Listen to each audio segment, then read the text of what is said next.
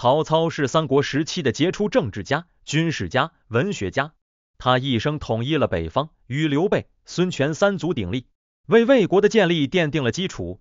曹操手下拥有众多的谋士和武将，如郭嘉、荀彧、荀攸、程昱、贾诩、司马懿等谋士，如夏侯惇、夏侯渊、曹仁、曹洪、曹真、徐晃、乐进、于禁等武将，他们都为曹操的事业做出了重要的贡献。然而，在唐朝建立的武庙中，供奉了历代的军事英雄，曹操手下的将领中，只有张辽一人入选了七十二将。那么，张辽究竟有什么过人之处，能够获得这样的殊荣呢？首先看下张辽的个人事迹。张辽，字文远，雁门马邑（今山西朔州）人。他出生于一个寒门之家，没有什么背景和资源。他年轻时从军，先后跟随并州刺史丁原、西凉军阀董卓、并州猛将吕布，在战场上表现出勇猛果敢的风格。公元一九八年，吕布被曹操围困于下邳城。张辽率领精锐突围求援，虽然未能成功，但却赢得了曹操的赞赏和信任。吕布被曹操处死后，张辽归降了曹操，并被任命为骑都尉。从此，张辽成为了曹操麾下的一员猛将，在各地征战中屡立战功。他参与了对抗袁绍的官渡之战、对抗刘备的赤壁之战、对抗孙权的合肥之战等重大战役。其中最为著名的是合肥之战中的逍遥津之战。公元两百零八年，孙权率领十万大军进攻合肥，张辽只带了七千精兵守城。在城外巡视时，张辽发现敌军阵营松懈，便率领八百骑兵突袭敌营。他所向披靡，杀得敌军大乱。孙权亲自率领主力追击张辽，张辽却不惧不退，反而转身迎战。他以少胜多，以弱击强，在敌军中纵横驰骋，杀伤无数。最后。在部下的劝说下，张辽才收兵回城。这一战震惊了孙权和其手下诸将，也奠定了张辽在三国历史上的威名。除了勇武之外，张辽还是一个忠义之士。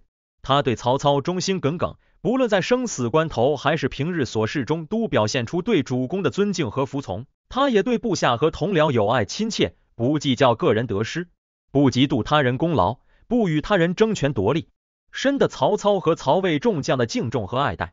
他还是一个有文化的武将，喜欢读书写诗，与曹操、曹丕等文人交流甚欢。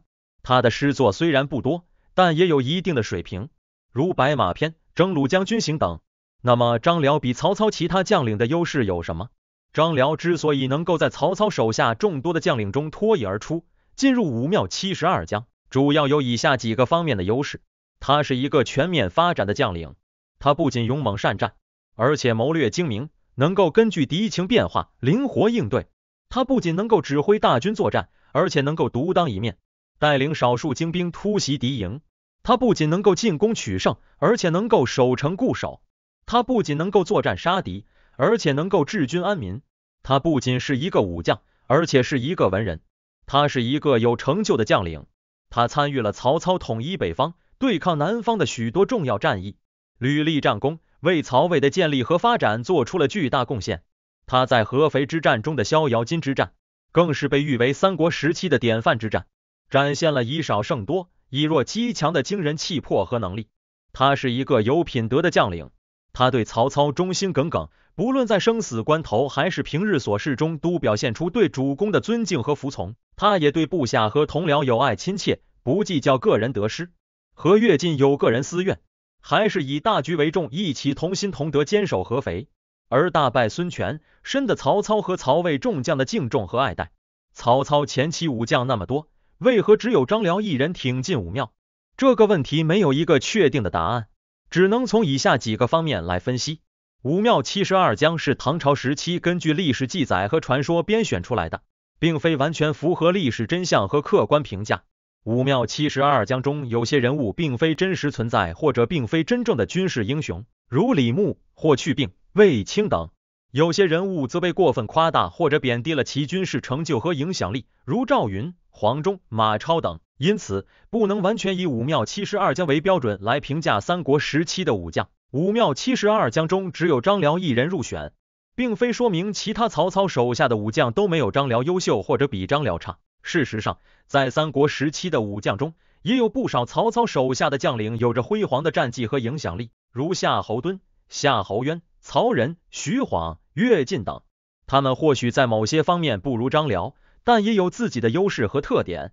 他们之所以没有入选武庙七十二将，可能是因为他们的事迹没有被后人充分了解和传颂。或者是因为他们的事迹与其他历代军事家有所重合或相似，或者是因为他们的事迹与武庙七十二将的编选标准和主题不太契合。武庙七十二将中只有张辽一人入选，也反映了张辽在三国时期的武将中有着独特的地位和影响力。张辽不仅是曹操手下的一员猛将，也是三国时期最为杰出的军事家之一。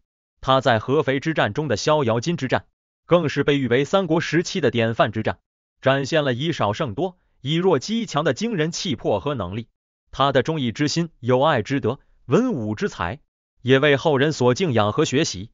因此，张辽能够入选武庙七十二将，也是对他一生功绩和品格的肯定和尊崇。那么，张辽进武庙是否有争议？不能说完全没有争议，只能说争议不大。可以从以下几个方面来分析。从历史真实性的角度来看，张辽进武庙并没有什么争议。张辽是一个真实存在的历史人物，他的事迹和评价都有可靠的史料记载和证据支持，如《三国志》《资治通鉴》等。他在三国时期的军事成就和影响力也是有目共睹的，无论是曹操还是刘备、孙权等人都对他有所敬畏和赞誉。因此，张辽作为历代军事家之一，进入武庙并没有什么不妥。从历史评价的角度来看，张辽进武庙可能会有一些争议。张辽虽然是一个优秀的将领，但也并非完美无缺。他在一生中也有过失败和失误，如在官渡之战中被袁绍军击败，在赤壁之战中被周瑜军围困，在白马之战中被关羽军逼退等。他在曹操手下众多将领中，并非最高职位、最大功劳或者最长寿命者。他在三国时期众多武将中，并非最勇猛、最智谋或者最忠义者。因此，张辽作为历代军事家之一。进入武庙可能会引起一些人的质疑和反驳。从历史影响力的角度来看，张辽进武庙可能会有一些遗憾。张辽虽然是一个杰出的军事家，但他却没有留下自己的军事理论或者经验，也没有培养出自己的门生或者继承者。他在死后也没有得到足够的纪念和尊崇，他的墓地和祠堂都不为人所知，他的诗作和事迹也没有被广泛传颂和流传。他在三国时期的武将中。也没有像关羽、赵云、马超等人那样被后人神化和崇拜，因此张辽作为历代军事家之一，进入武庙可能会让一些人感到惋惜和遗憾。